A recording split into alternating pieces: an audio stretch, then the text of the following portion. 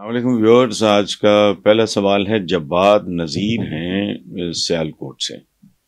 जवाद साहब, पहली बात तो ये है कि आपका बहुत शुक्रिया, आपका नाम पढ़ के मुझे बहुत ही अपना एक प्यारा दोस्त जब्बाद नज़ीर, बहुत बड़ा, वो जर्नलिस्ट भी था, जंग, पिंडी का वो एडिटर रहा, और वो पांचवा दरवेश के उनवान से कॉलम लिखा करता था। चंद साल पहले वो बिछड़ गया। आपका नाम पढ़ के अल्लाह आपको सलामत रखे, अपनी अमान में रखे। आपका नाम पढ़ के मुझे बहुत ही प्यारा दोस्त याद आया। तो जवाद साहब कहते हैं, जी, आज एक ख़बर, नज़र से गुजरी कि पिछले अदवार में एक खातून, रुकन असम्बली, रुखसाना बंगश ऐसी भी रही हैं जिन्होंने पाँच साल खामोश रह के गुजारे और ईवान में खड़े होकर एक लफ्ज़ भी न बोला।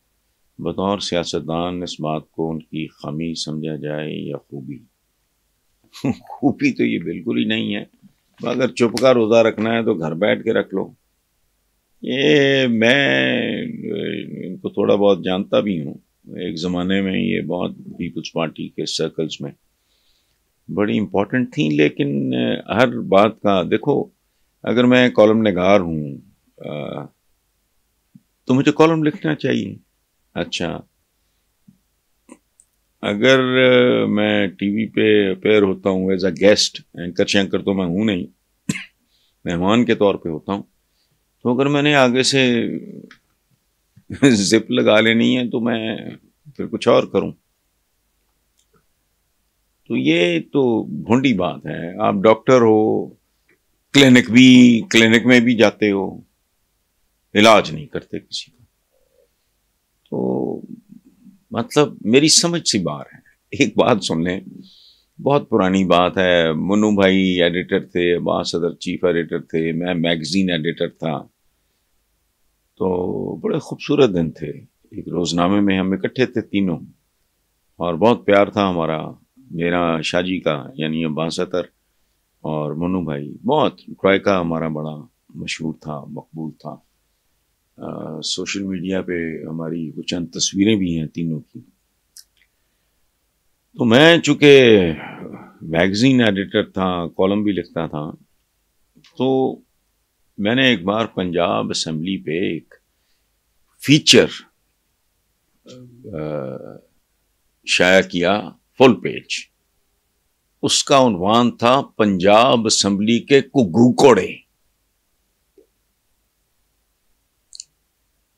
उस पर मैंने उन लोगों की फहरिस्त शाया की, जिन्होंने एक साल में एक लफ्स भी नहीं बोला था। तो मैंने कहा, ऐसे लोगों को जूते मार के बाहर निकालो, ईवान में बैठे, तुम क्या यहाँ भंग पी के सो रहे हो? कंट्रीब्यूट करो। कुगू कोड़ा किसको कहते हैं? हम ही बेजान।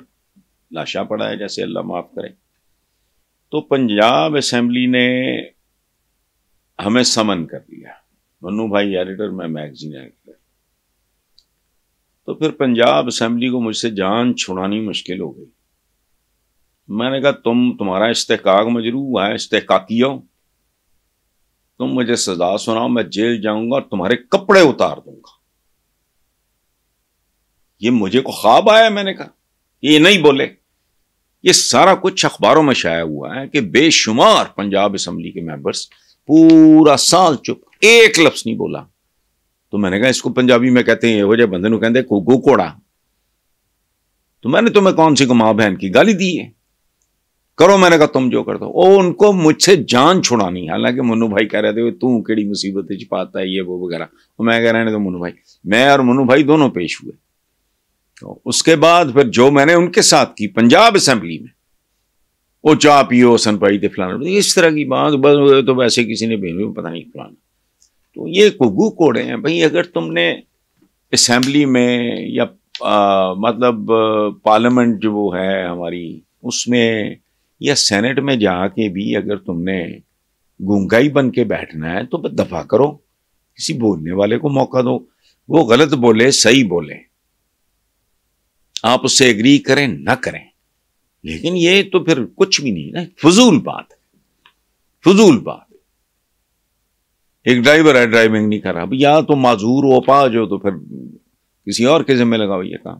फजूल बात, मैं तो इसको खामी, क्या मैं कहूँ, खातून है वो, मैं इससे ज़्यादा बात नहीं कर सकता। बस इट्स रिडिकुलस स्टूपिड। एक टीचर है, क्लासरूम में भी जाता है, बच्चों को पढ़ाता ही नहीं। It is idiotic.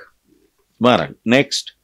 Naveedul Hasan हैं जी, लाहौर से वो कहते हैं कि जी नून लीगी रहनुमा और वफाकी वज़ीर इतलात तथा तारड़ कहते हैं कि अडयाला जेल से पाकिस्तान को नुकसान पहुँचाने की हिदायत यार, ये किस आदमी का ज़िक्र लेके बैठ गया हो?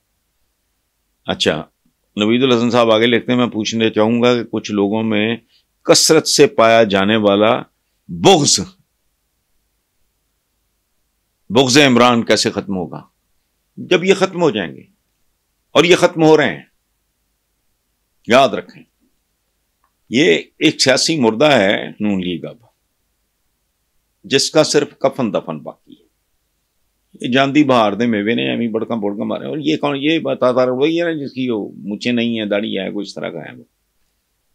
अच्छा वो है या जो कोई भी है ये, वज़ीर इतलात मतलब और आप भी ना नवीद हसन साहब एक मेहरबानी किया करें, हर बंदे के लिए ना रहनुमा, कायद, लीडर का लफ्ज ना इस्तेमाल करें। आपका दिल क्या कहता है? माइक पकड़े। हज़ार बंदे से पूछें। ये कभी लीडर लगता है या फलाना? वो लीडर सदियों में एक पैदा होता है। पाकिस्तान की टोटल हिस्ट्री में अब तक दो तीन बंदे हैं। कायद आज़म थे।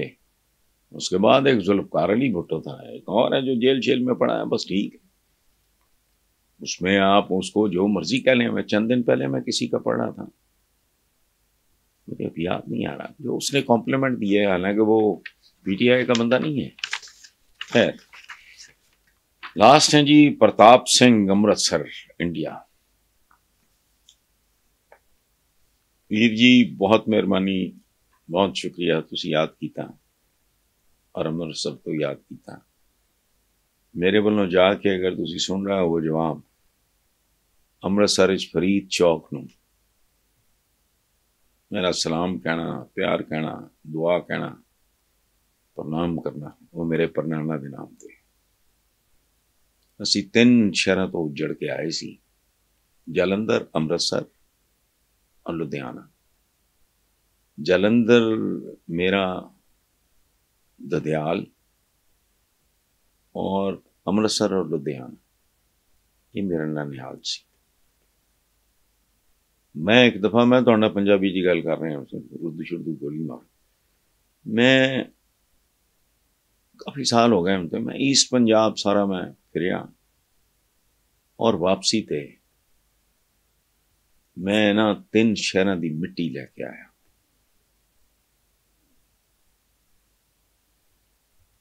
और वो मिट्टी मैं लाहौर अपने फार्म हाउस थी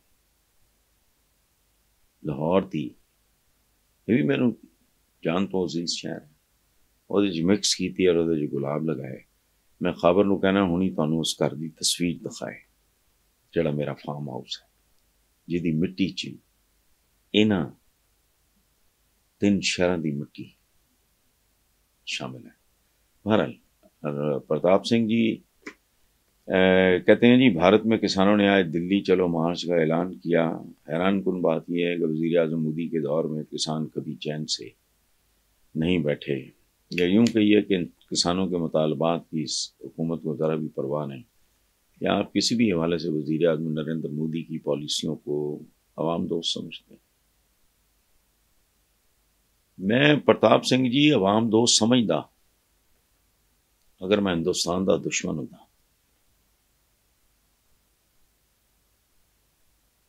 चूँकि ये अल्टीमेटली हिंदुस्तान दिया जड़ा च तेजाब फेर देगा ये रवैया हुक्मरान जड़ा हों ना वो माँ बाप साढ़े तो कहते हैं ना माई बाप बकवास नहीं है मैं अज ही पता नहीं कोई सौवीं दफ़ा अपने हज़रत अली दा मैं करम अल्लाह वजो का ਖਤ ਪੜ ਰਿਹਾ ਸੀ ਉਹਨਾਂ ਦਾ ਉਹਨਾਂ ਨੇ ਗਵਰਨਰ ਨਾਮਜ਼ਦ ਕੀਤਾ ਮਾਲਿਕ ਬਿਨ ਅਸ਼ਤਰ ਨੂੰ ਕਿਦਾਂ ਮਿਸਰ ਦਾ ਉਹਨਾਂ ਨੇ ਖਤ ਲਿਖਿਆ ਉਤੋਂ ਪਤਾ ਲੱਗਦਾ ਹੈ ਕਿ ਹੁਕਮਰਾਨ ਹੁੰਦਾ ਕੀ ਹੈ ਜਿਹੜਾ ਬੰਦਾ ਅਗਰ ਹੁਕਮਰਾਨ ਹੋਵੇ ਔਰ ਮੁਸਲਮਾਨ ਬਣ ਕੇ ਤੇ ਫਿਰ ਸਿੱਖ ਬਣ ਕੇ ਤੇ ਫਿਰ ਹਿੰਦੂ ਬਣ ਕੇ ਤੇ ਫਿਰ ਈਸਾਈ ਬਣ ਕੇ ਤੇ ਫਿਰ ਬੁੱਧਿਸਟ ਬਣ ਕੇ ਸੋਚੇ ਉਹ ਹੋਰ ਕੁਝ ਵੀ ਹੋ ਸਕਦਾ ਹੈ ਹੁਕਮਰਾਨ ਨਹੀਂ ਹੋ ਸਕਦਾ ਤੇ ਹਿੰਦੁਸਤਾਨ ਦੇ ਵਿੱਚ ਅਕਲੀਤਾਂ ਦੀ ਜੋ ਸੂਰਤ ਹਾਲ ਹੈ ਪ੍ਰਤਾਪ ਜੀ ਉਹ ਮੈਂ ਮੇਰੇ ਤੇ ਐਡਾ ਵੱਡਾ ਇਲਜ਼ਾਮ ਲਾ ਰਹੇ ਹੋ ਤੁਸੀਂ ਭਰਾਓ मेरे तो जो मर्जी करो कि नरेंद्र मोदी की पॉलिसीज को अवाम दोस्त समझते हैं नहीं I am sorry Pratap thank you very